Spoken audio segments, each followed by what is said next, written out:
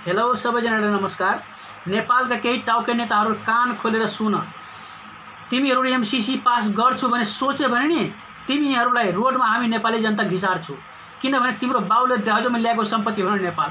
होसियार।